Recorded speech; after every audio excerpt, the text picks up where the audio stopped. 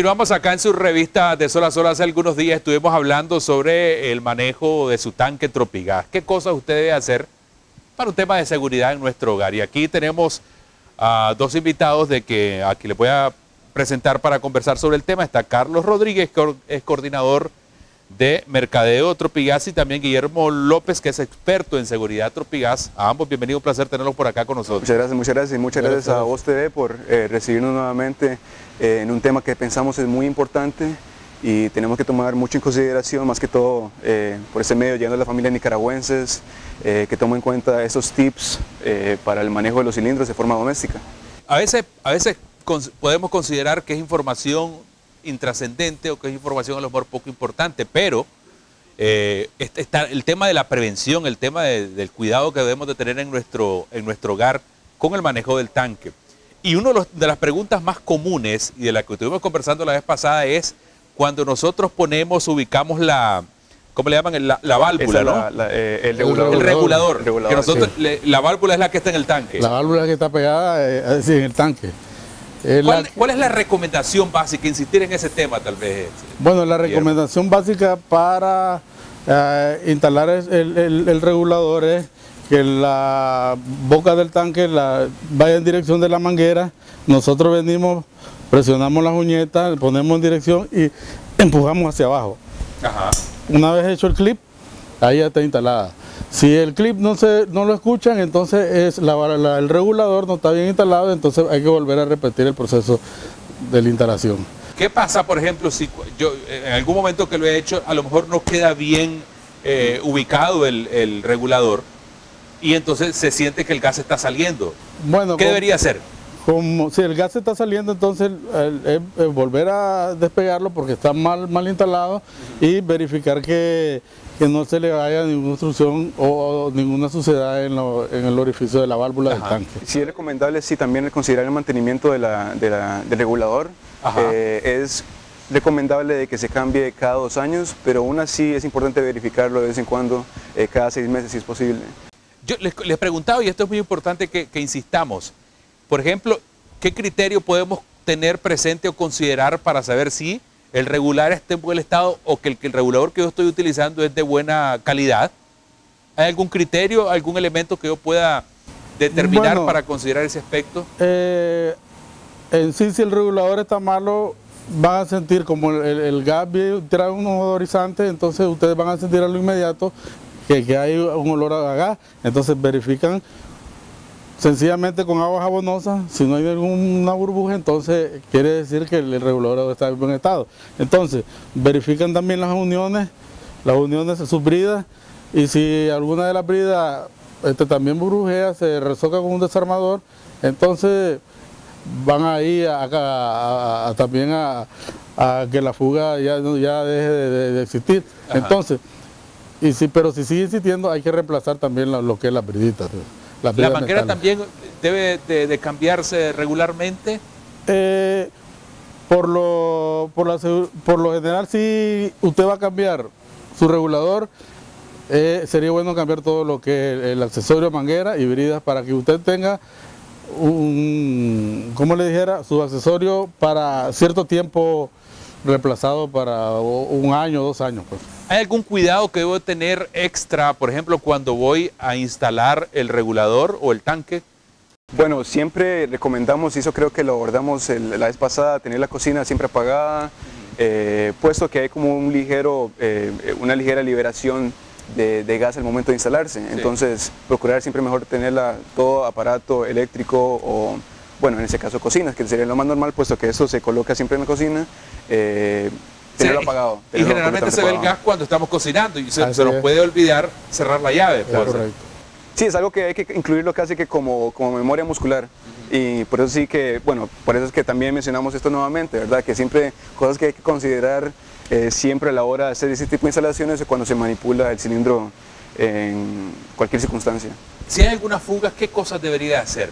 ¿Cuál es la recomendación que ustedes dan? La fuga la detectan a lo inmediato, como lo decía anteriormente.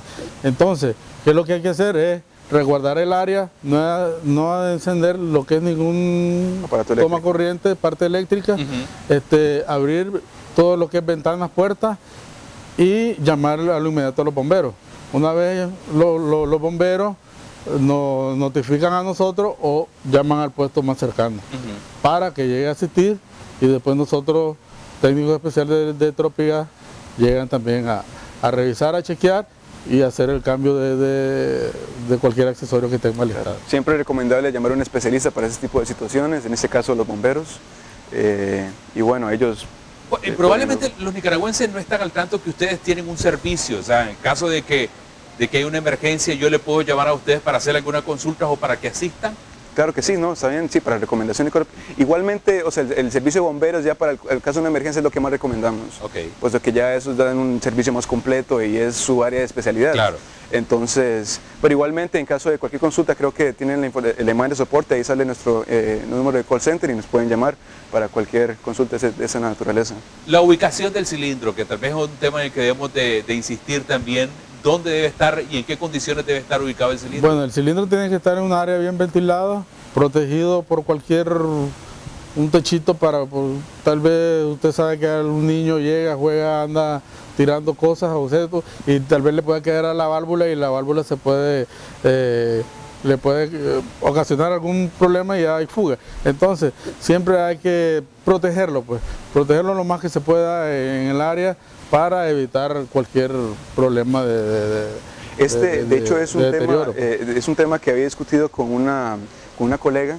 Eh, ella me ha preguntado eh, con respecto a la ubicación de un cilindro de 100 de 100 libras. Me comentó de si necesitaría si era necesario instalar como una como una casita como una casita especial para ese cilindro. En sí es importante que esté ventilado, pero también puede ser recomendable el hecho de tener poner algo encima, por el, hecho que algo le puede caer encima al cilindro y puede comprometer su, eh, integridad. Entonces, es una forma también de protegerlo eh, en caso de que pueda golpearlo algo que pueda ocasionar una fuga y pueda dañar tal vez el metal. En el, donde debe estar, donde esté el tanque, el espacio que nosotros hemos seleccionado para que esté el tanque, ¿qué otros productos debemos de tener cuidado ubicar cerca? Bueno, por lo general ningún producto.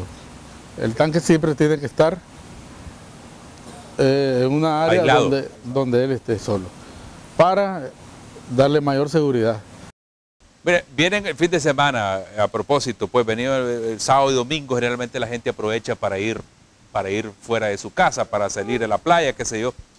¿Qué recomiendan ustedes en caso que salgamos por uno, dos o tres días de la casa? Bueno, las recomendaciones que nosotros damos es venir y, despegar lo que es el regulador del cilindro.